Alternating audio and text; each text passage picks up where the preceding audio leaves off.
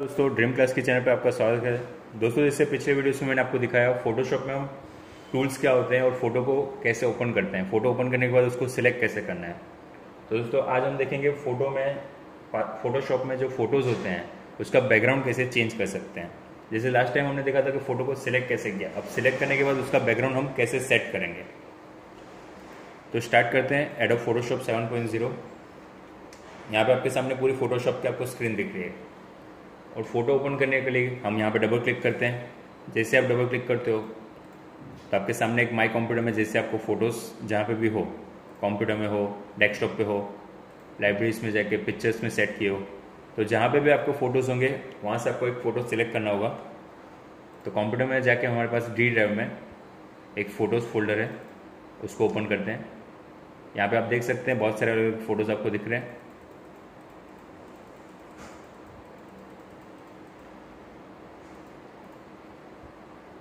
तो इसमें हम एक सिंगल फ़ोटो कोई भी एक सिलेक्ट कर लेते हैं।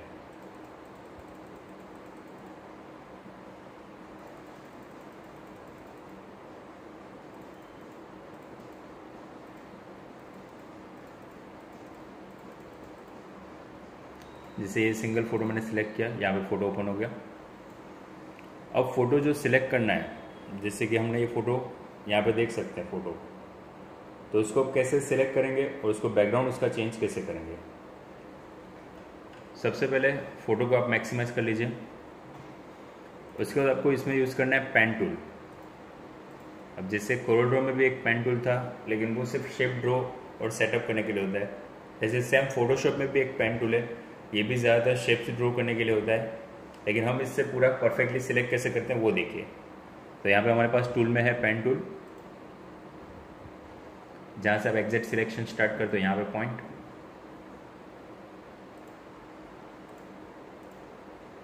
अब अगर दोस्तों, इस फ़ोटो को अगर आपको जूम करना है तो आपको कीबोर्ड पे शॉर्टकट की दबानी है प्रेस करनी है control and plus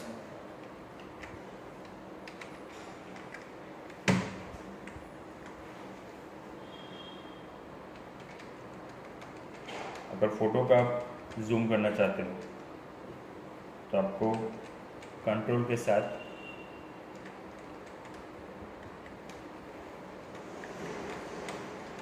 plus press करना है। जब आप फ़ोटो को जूम आउट करो जूम इन करोगे तो आपको कंट्रोल के साथ प्लस प्रेस करना होगा। लेकिन जब वही फ़ोटो को आप जूम आउट करना चाहोगे तो कंट्रोल के साथ माइनस देखते कैसे होता है। अब यहाँ पे मैं कंट्रोल प्लस कर रहा हूँ तो मैं जूम कर सकता हूँ और कंट्रोल माइनस करूँगा फ़ोटो जूम माइनस करने के लिए। और इसमें भी हमारे पास हैंड टूल है, जब आप स्पेस प्रेस करना है, जैसे मैं यहाँ पे कर्सर रख के जूम कर रहा हूँ तो स्पेस से मैं अप डाउन सेट कर सकता हूँ। लेकिन जैसे स्पेस छोड़ूँगा, वो नॉर्मल हो जाता है।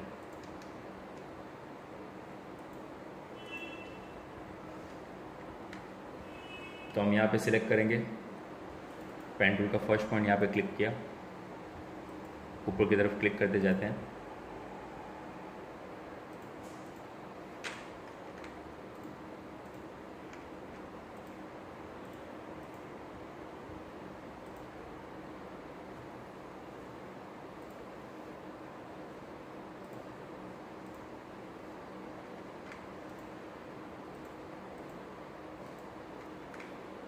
जहाँ पे भी अगर आपको गलत लगता है, आपको कंट्रोल सेट करते हैं जिससे देखिए पॉइंट्स रिमूव हो रहे हैं।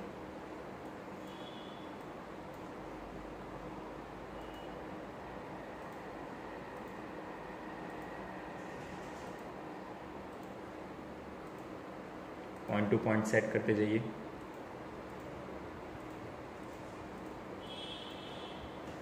जब आपको जूम प्लस में है अगर आपको ऑब्जेक्ट ऊपर का देखना है, यानी जो फ़ोटो है ऊपर की तरफ़ तो स्पेस प्रेस कीजिए। फ़ोटो को मूव कीजिए और बाद में आपका पेन टूल कंटिन्यू वर्क करेगा। पेन टूल ही एक ऐसा सिलेक्शन है जो कंटिन्यू वर्क करता है। बाकी के जो सिलेक्शन हमने देखे थे, वो कंटिन्यू वर्क नहीं कर सकते, क्योंकि क्लिक करके वो वहाँ पे छूट जाते हैं। पॉइंट्स पॉइंट्स को लीव कर देता है। लेकिन यहाँ पे आप पेन टूल के साथ जैसे स्पेस कर रहा हूँ तो वो हैंड टूल मूवमेंट साथ में दे रहा है।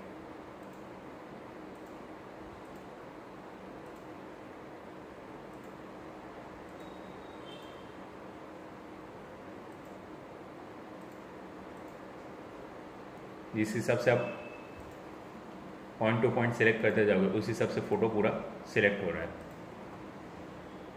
इसमें देखिए ज़्यादा कम, बहुत ही नज़दीक नज़दीक पॉइंट ले रहा हूँ क्योंकि वो सिलेक्शन उस हिसाब से मुझे करना है इसके लिए। इससे वो परफेक्ट सिलेक्शन आपको देगा।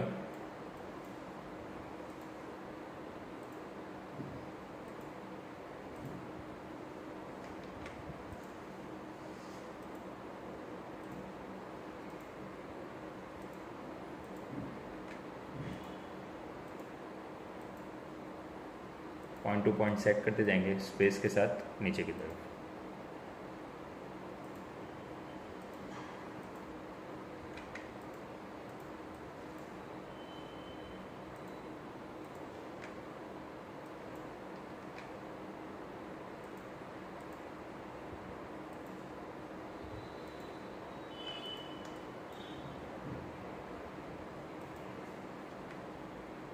जैसे आप यहाँ पे देख रहे हैं मेरा सिलेक्शन बाहर की तरफ़ है क्योंकि उसका फ़ोटो में जो मॉडल है, उसका हैंड भी बाहर की तरफ़ है।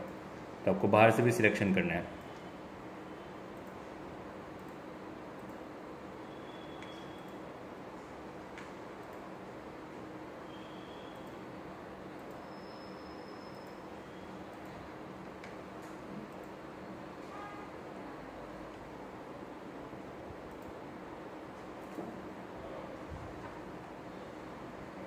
तो यहाँ से जैसे आप सिलेक्ट करोगे पॉइंट टू पॉइंट सिलेक्ट करते जाना पूरा। जहाँ से आपने फ़ोटो सिलेक्शन स्टार्ट किया, वहाँ पे आपको क्लोज कंप्लीट करना है।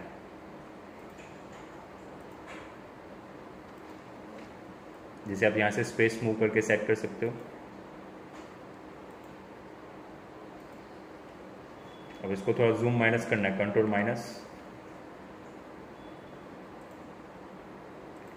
लेकिन ये जैसे बीच बीच के पोर्शन में आप देखोगे। इतना गैप यहाँ पे दिखा रहा है। तो वैसे आपको इसको सिलेक्शन करना होगा।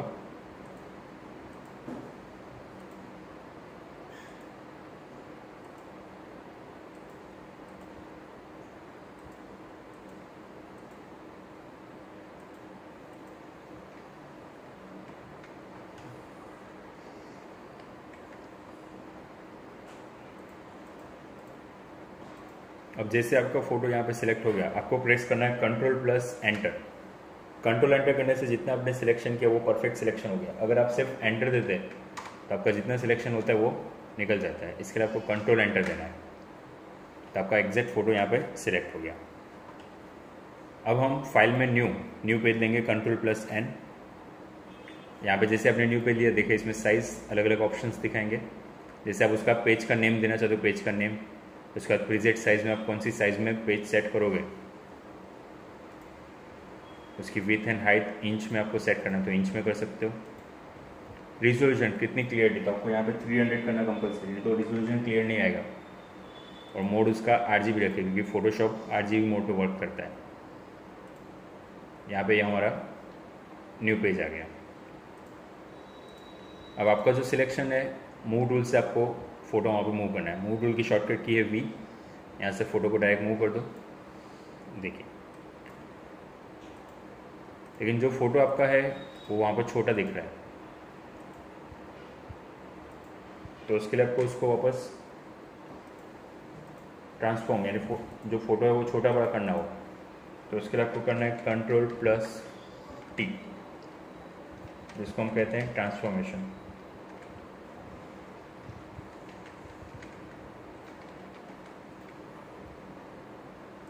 आपको ऑप्शन यहाँ पे दिखेगा एडिट में जाएँगे।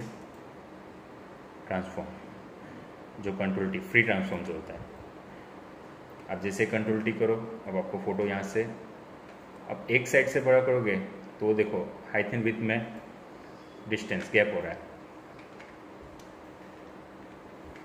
तो इसको आपको कंट्रोल टी करके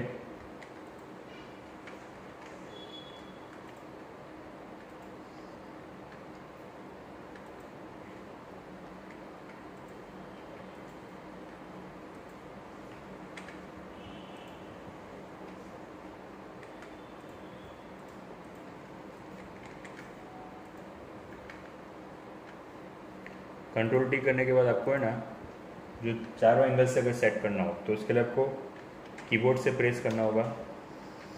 अल्टर प्लस शिफ्ट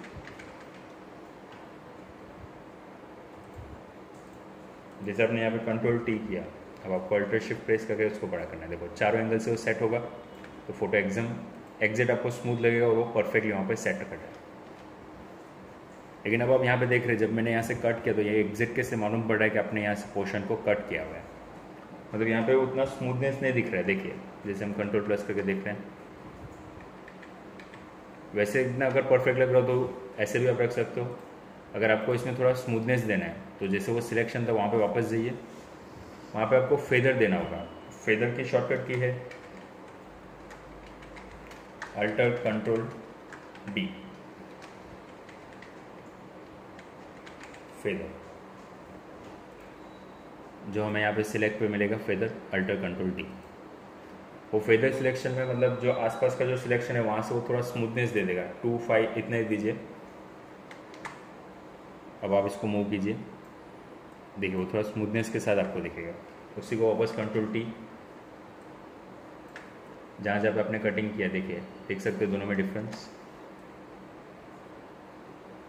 जबकि इसके पीछे देखो हेयर के साइड कटिंग दिख रहा है और यहाँ पे इतना स्मूथ हो गया।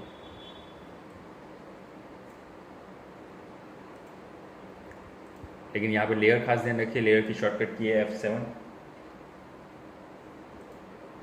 तो लेयर टू जो है वो सेकंड है और लेयर वन जो हमने फ़र्स्ट लिया तो लेयर वन को अगर डिलीट करना है, यहाँ से डिलीट और लेयर टू को आप कंट्रोल टी करके सेट कर सकते हो। और बैकग्राउंड में फिर आपको जो फ़ोटोज़ रखने हो या कलर रखना हो तो कलर भी रख सकते हैं।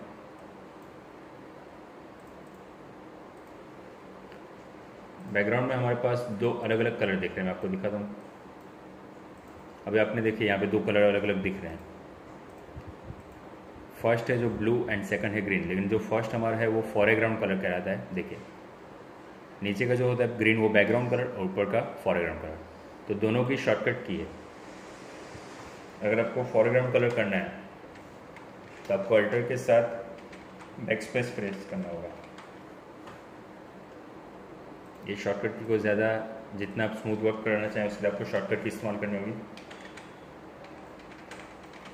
जो फॉरग्राउंड कलर के होता है। लेकिन अगर आप control plus back space use करते हो तो वो बैकग्राउंड के लिए होगा।